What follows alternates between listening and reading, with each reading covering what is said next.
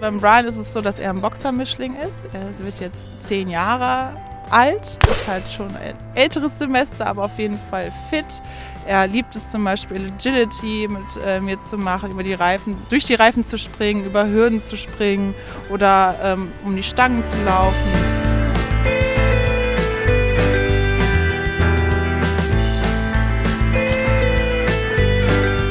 Er läuft auch super gerne mit am Rad, das hat er auch gelernt.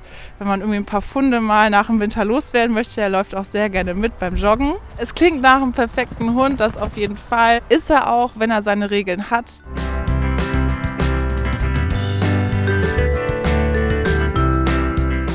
Ist halt jetzt schon drei Jahre bei uns hier im Tierheim. Zu seiner Vorgeschichte gibt es halt nichts Genaues. Was man aber weiß, ist, dass seine Vorgeschichte nicht so schön war. Er hat halt auch öfter Schmerzen wohl. Das merkt man an seinem ausgeprägten Schmerzgedächtnis.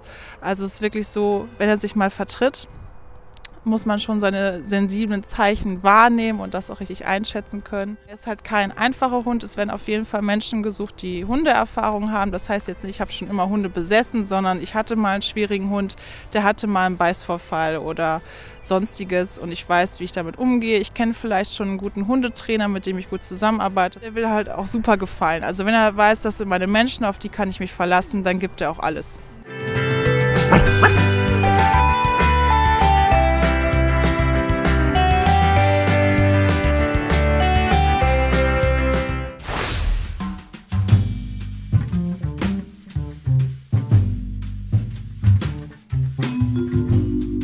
Das ist unsere Sunny, die ist knapp 15 Jahre alt und für die wünschen wir uns einfach ein ruhiges Zuhause, eventuell mit Freigang, wenn es möglich wäre, wäre schön für sie.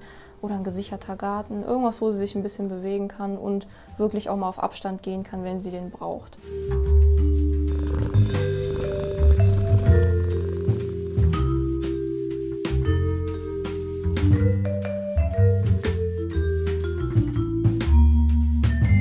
Die Sunny ist so an sich eigentlich eine verschmuste Katze, aber zeigt auch, wenn sie keine Lust mehr hat. Also zieht sich dann zurück oder ich sage jetzt mal, benutzt auch ihre Pfote, aber ohne Krallen. Also sie meint das absolut nicht böse dann. Sie zeigt wirklich, ich möchte oder ich möchte nicht. Wir haben jetzt hier nicht festgestellt, dass sie groß Interesse an anderen Katzen hat. Das heißt, als Einzelkatze wäre, würden wir sagen, auch möglich. Sunny wär, würden wir Leute schön finden, ruhiges Zuhause, eine harmonische Familie.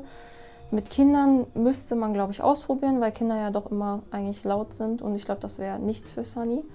Aber ähm, vielleicht ein älteres Ehepaar auch, was sagt, wir geben einer alten Katze so einen letzten Ruhestand.